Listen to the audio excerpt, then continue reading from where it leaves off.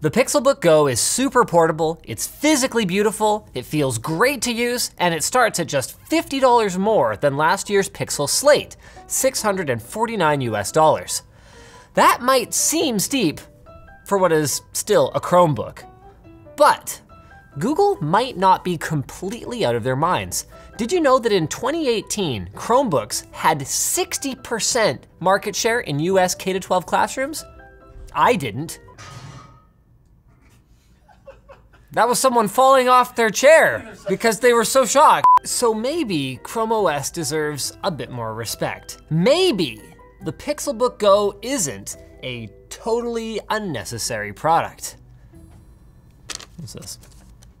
The top end model costs $1,400? Mother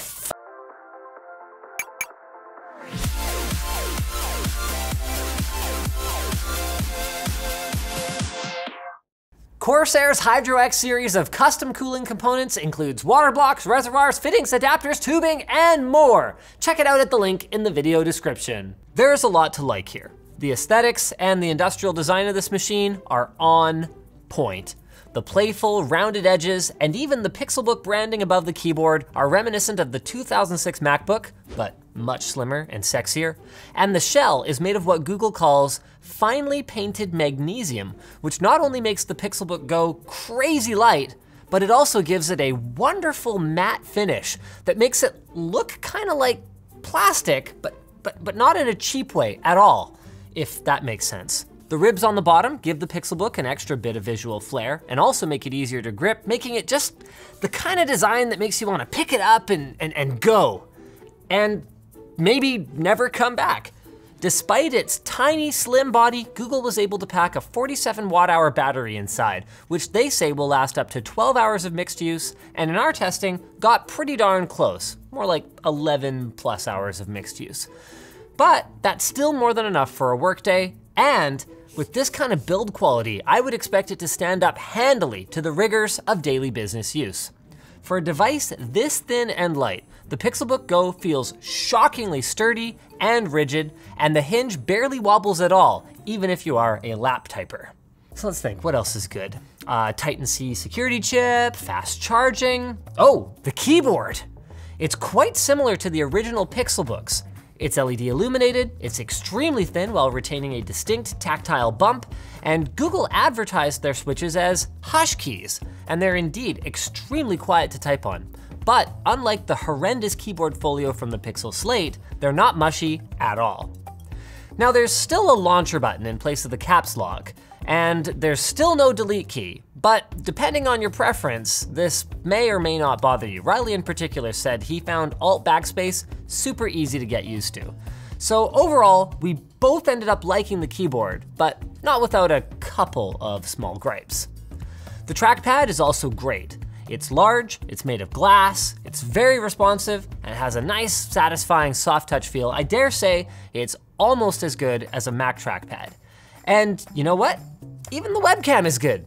You can just make out the intricate design on that motherboard water bottle that you could get at lttstore.com. Okay, so is that enough?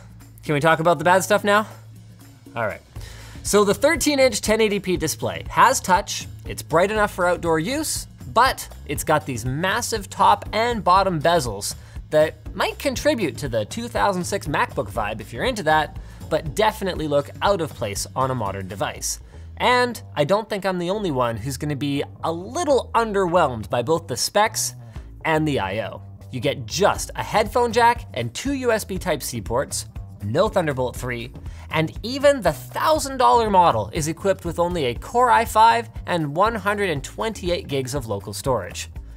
In fairness, premium thin and light notebooks like Dell's XPS series are priced fairly similar, but the XPS in particular is a lot faster and it, you know, runs Windows.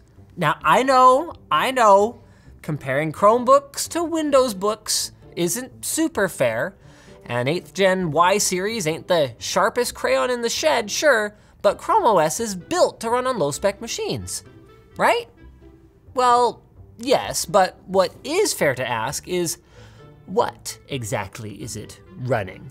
Because the thing is, even though Chrome OS has indeed come a long way, it's got a proper file manager, it's got support for Android apps, and it's even got some limited Linux functionality now baked right in.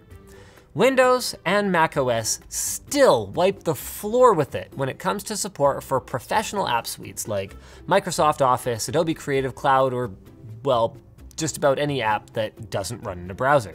I mean, even Chrome, the browser, has some shortcomings on a Chromebook. For example, you can't sign into and then switch between your personal and your work Google accounts without logging out entirely and then logging back in. This might not be applicable to you, but it is a disadvantage for people with personal and work accounts that wanna like flip between them on their lunch break, for example. Now, there are workarounds for filling in some of Chrome OS's missing functionality. The problem is just that they kind of suck. Need to use Word? Well, you could just switch to Google Docs and break the formatting of your documents, or you could use Word Online and deal with the limited functionality of the browser-based app. Want to use Photoshop? Well, there are a great number of simplified versions of the app that you can try. Want to play games? Well, that's no problem, as long as you like mobile games. And not cool ones like Call of Duty Mobile, because setting those up with a mouse and keyboard is a real hassle. So the question here, and its answer, is similar to the one we asked in our iPad Pro review. Can this thing work as your main computer? And the answer is yes. But should it work as your main computer? No. And the main reason why still comes down to price. If this thing was running Windows, I'd probably be daily driving it right now. Like feels so good. But Chrome OS is just demonstrably worse as an operating system than Windows or Mac OS. So because of that, buying a Chromebook only makes sense if it's considerably cheaper than a comparable Windows laptop or a MacBook. I mean, that is assuming that the most important thing to you in a laptop is functionality in addition to aesthetics, because the Pixelbook Go is definitely strong in that latter category it's kind of like a fat, useless dog or cat, you know, like it's cute, but it's a mockery of its wild predator ancestors. You know, like, ooh, yes you are, aren't you? You're just so cute. Go fetch.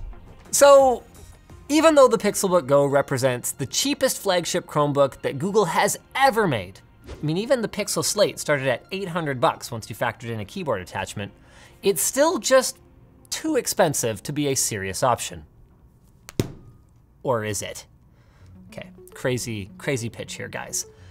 I think Google keeps making these things knowing that nobody is buying them because they are playing the ultimate 4D chess long game here, all right? The Pixelbook lineup is for customers that don't exist yet, but they will in the future once all those kids who have spent their formative years using cheap plastic Chrome OS notebooks grow up enter the business world, and then want something familiar, but that doesn't trash their cred when they whip it out in the boardroom. Right there. That's it. For now, though, I just can't recommend this thing. I mean, I do want to thank Google for sending it to us to review, though.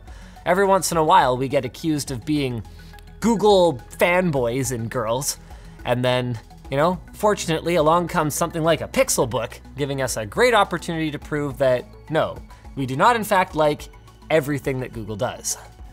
Yet. Speaking of yet, HIFIMAN and Massdrop really are the perfect combination, and their Massdrop X HIFIMAN HE4XX planar magnetic headphones are a great example of how they both listen to the community.